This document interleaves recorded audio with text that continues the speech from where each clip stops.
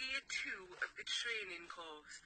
And as you can see, today hasn't started very well. Um, I've just had a panic attack, and it obviously feels a bit stupid when I'm filming it because it can be over reasons. There's nothing to anybody else.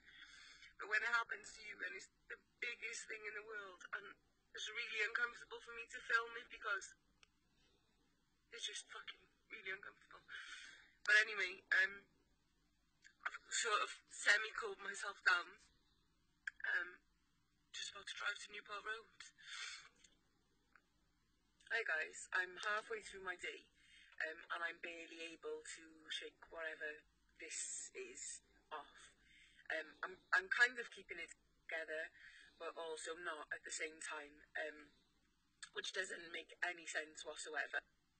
But basically, the point of me sending this earlier on this morning wasn't for everybody to ask if I'm okay. Like, I'm fine. It's something that always happens. It, it's just that a lot of people that do follow me and do message me do have the same thing. And I just wanted to kind of show that, like, you can get over it, not get over it. That sounds fucking terrible. Hang on a minute. Not get over it, but like, you know what I mean? Sometimes it's so crippling that you actually can't get out of bed. And it took me about three years to be able to get out of bed. And then it took about another 12 months for me to be able to get out of bed and have a shower. Then like six months for me to get out of bed, have a shower, brush my teeth, like that kind of thing. And so it's a massive, massive process. But I just wanted to show people that like you can do it.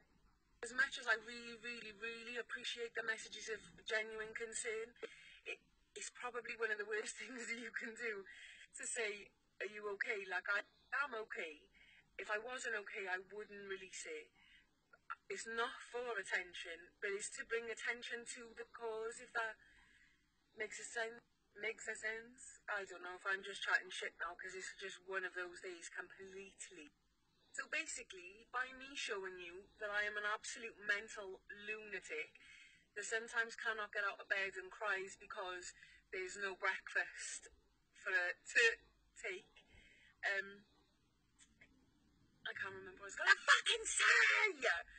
So if I can do it, uh, fuck, that's not what I was going to. Right, so I remembered the point.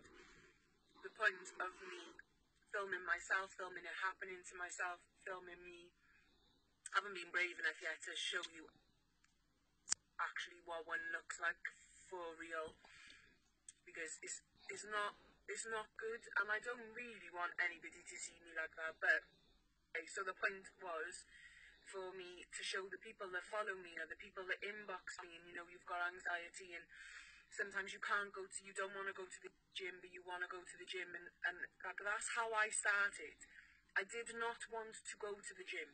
I didn't want to get out of bed. I didn't want to do this. It's gradual steps.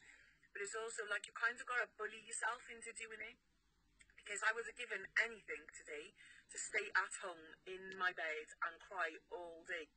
Today I feel like it's been all like discombobulated and, you know, my line's really prominent and I don't really make eye contact with anybody. I'm, I'm, I'm, I'm. Need. I'm, I'm actually on my lunch break now, so I'm gonna have to wrap it up because I've probably lost the message that your attention span, whatever. Um, I just wanted to say that you can do it no matter how small an, an effort it is to you. It could be just getting out of bed, like I said. It could be brushing your teeth. It could be walking your dog. Anything. Just don't fucking let it win. Like you are stronger than you think.